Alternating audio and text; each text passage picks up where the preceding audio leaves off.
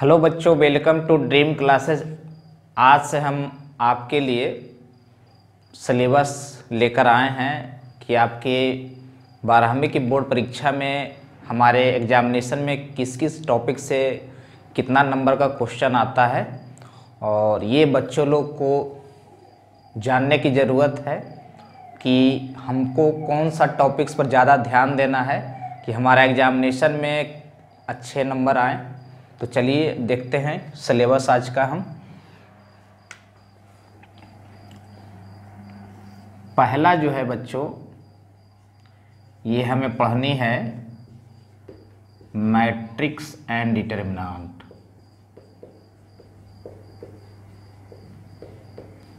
ठीक है? इसको हम कहते हैं हिंदी में आव्यूह और सारणिक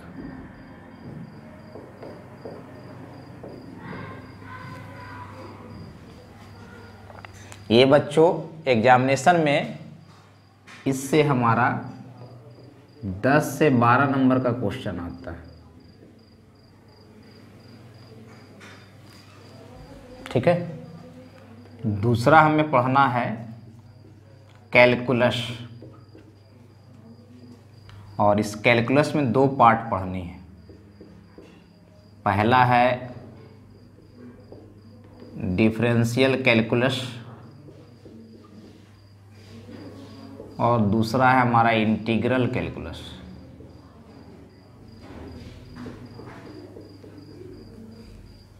ये हमारा अवकलन से संबंधित टॉपिक्स होता है। और ये हमारा समाकलन से संबंधित टॉपिक्स होता है।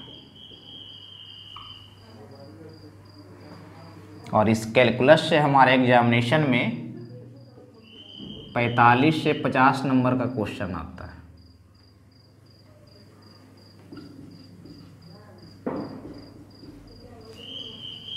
ठीक है।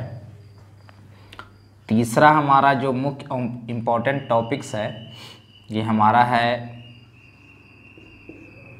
three D vector and three D geometry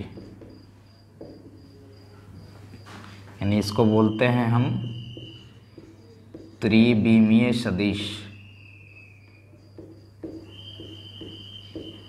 और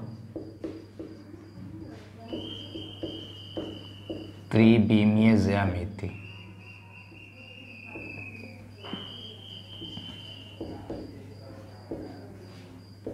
इस टॉपिक से हमारे एग्जामिनेशन में 20 से 25 नंबर का क्वेश्चन आता है। ठीक है? और चौथा हमारा जो टॉपिक्स है इसको हम बोलते हैं प्रोबे बाइबिलिटी यानी इसको प्रायिकता कहते हैं।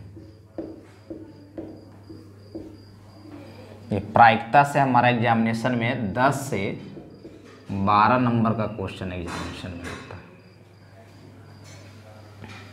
ठीक है?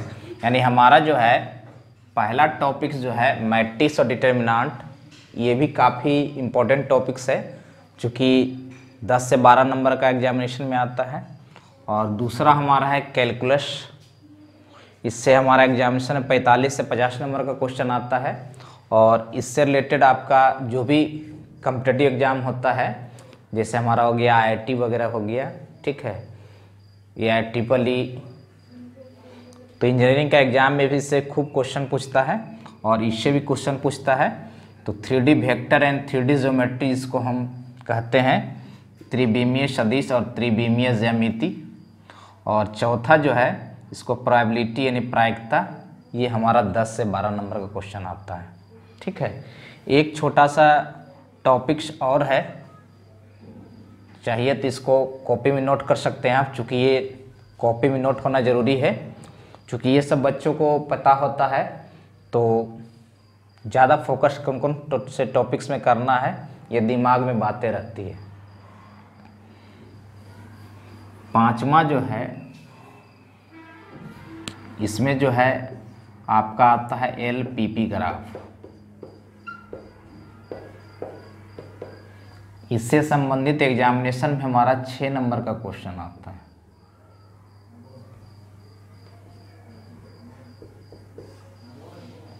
ठीक है बच्चों?